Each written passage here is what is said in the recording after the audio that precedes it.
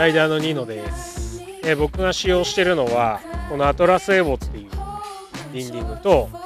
エッジというブーツです。この高速のカービングの中で僕は結構このブーツに関しては横方向の強さ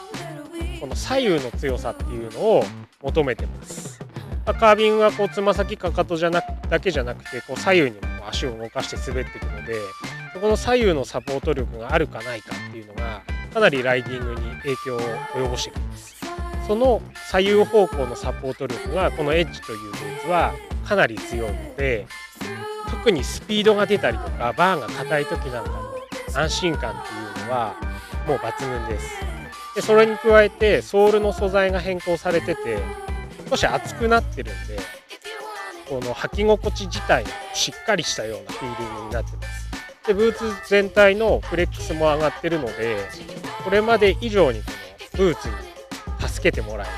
ブーツに頼れるっていうような感じになってますね。でそれとこのアトラスエボっていうウィンディングの相性が良くてまず、まあ、僕気に入ってる部分にはこの足元のブッシングがラバーになったっていうところが気に入ってます。ラバーになったことで、まあ、ただ硬いんじゃなくて柔軟性がありながらもしっかりボードに力を伝えやすくなってるっていう風に感じてます。でつま先側がフォージットカーボンという硬い素材のガスペダルを使用してるので踏み込んだ時にレスポンスよくしっかりとエッジングができる、まあ、この部分っていうのはカービングにおいてかなり重要だと思うのでこのブーツとこのウィンディングのその板に力を伝えるっていうこの相性の良さをかなり気に入ってます。でこのブーツにはボアがついてるんですけど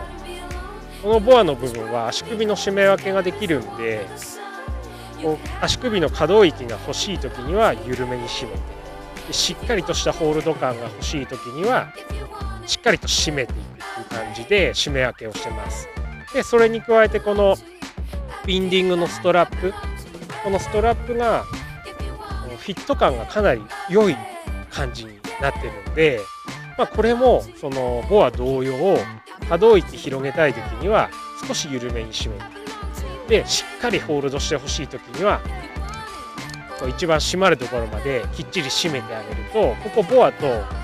ストラップセットにしてこう締め分けをしてあげるとかなりこのフィット感のある中でも可動域の調整っていうのができているっていう風に感じてて、まあ、かなりですねこのカービングの中で必要とされる動きのサポート力っていうのがこのセットは高いなって感じています。